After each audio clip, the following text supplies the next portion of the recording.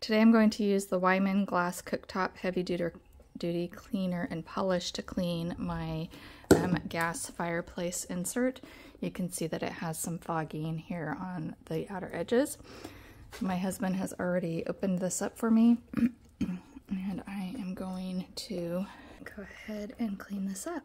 So I've got my gloves that I'm going to put on so I don't get chemicals on my hands.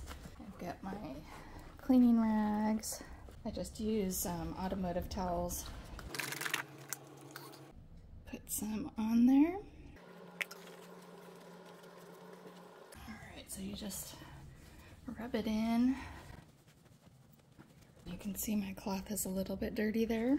And then I'm going to turn it to a clean part of the towel. And you're just going to polish. And you can see that it was pretty dirty there, but it's getting cleaner. I'm gonna trade this for another clean cloth. One more time, just to get the last of the polish off of there. All right, looks like I might have a little bit more of a haze going on over here.